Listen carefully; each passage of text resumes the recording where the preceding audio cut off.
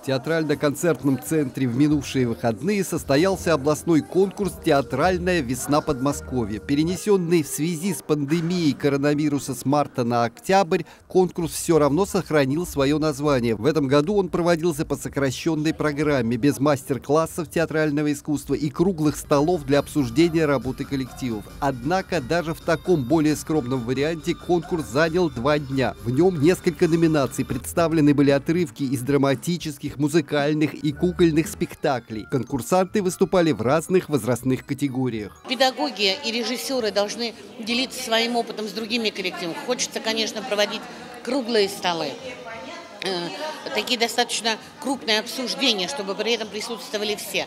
Но пока это невозможно.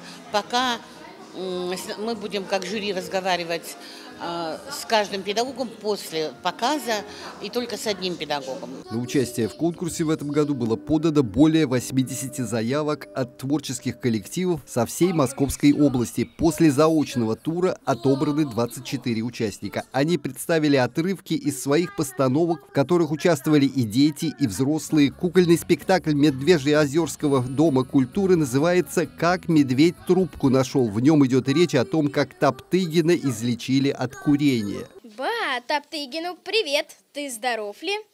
Видно, нет. Ты хвораешь? Да, хвораю. Что с тобою? Сам не знаю. На конкурс привозят постановки, с которыми их участники уже много раз выходили на сцену. Так, юные артисты из Ногинского театра юного зрителя выставили на конкурс популярный спектакль «Дюймовочка». Мы ставили его около 15 раз. Мы ездили во всякие э, разные э, дома, э, детские дома, показывали этот спектакль, чтобы его все увидели, чтобы у всех было хорошее новогоднее настроение. Конкурс «Смотр» — это всегда встреча.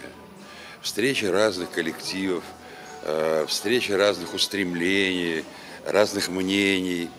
И поэтому, конечно, вот этот обмен опытом, обмен своими высказываниями театральными, он, конечно, обогащает участников. В этом году гран-при конкурса не присуждался. Все-таки не все театры смогли принять участие. Но если посмотреть на итоги театральной весны Подмосковья, то одно перечисление мест, откуда приехали победители конкурса, впечатляет. Дипломы за первые места получили театральные коллективы из Ногинска, Балашихи, микрорайона Климовск, города Подольска, Дмитрова, Дубны.